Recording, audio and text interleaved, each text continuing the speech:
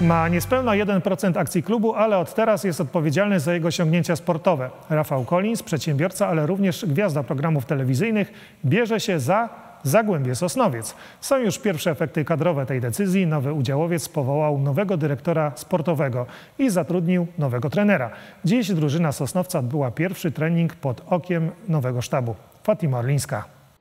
Zmiany taktyczne przed kolejnym sezonem rozpoczęły się z rozmachem. Nie dotyczą one jednak kształtu boiska, a raczej tego, co ma się na nim dziać. Za to odpowiadać będzie teraz nowy szkoleniowiec Zagłębia, którym został Aleksander Hackiewicz, zdobywca dwóch superpucharów i dwóch wicemistrzostw Ukrainy z Dynamem Kijów, a także były selekcjoner kadry Białorusi. Tej selekcji z kolei dokonał nowy dyrektor sportowy. Poznałem się z piłkarzami, zawodnikami i ciężka praca na, na tydniu, na następnym tygodniu i na obozu.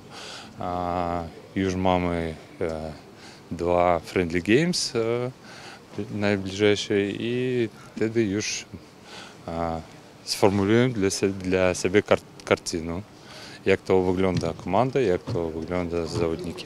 A ma wyglądać tak, że Zagłębie Sosnowiec odnosić będzie w końcu sukcesy i nie będzie musiało na koniec sezonu walczyć o utrzymanie w pierwszej lidze. To nie będzie łatwe, bo po rundzie jesiennej piłkarze zajęli ostatnie miejsce w tabeli z 11 punktami na koncie. Wiemy, że zawiedliśmy i będziemy się starali odbudować zaufanie wśród kibiców. Na pewno jest zapał tutaj do, do roboty, bo wiemy w jakim jesteśmy miejscu i mamy kawał roboty do zrobienia. Zawsze jakaś tam zmiana to jest y, taki pozytywny bodziec.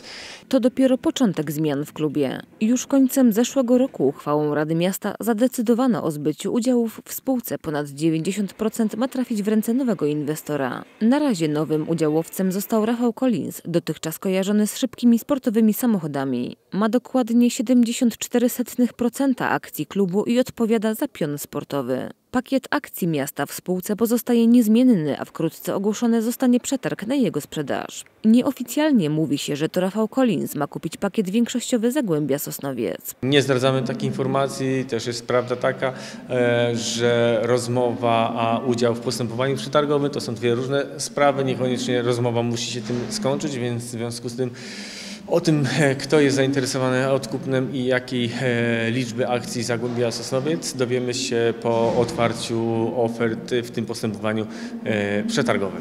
Zagłębie Sosnowiec to jest marka, nad którą, na którą chcemy mieć nadal wpływ, więc absolutnie nie chcemy się wycofać z klubu w 100%. Chcemy zmniejszyć udział finansowania klubu.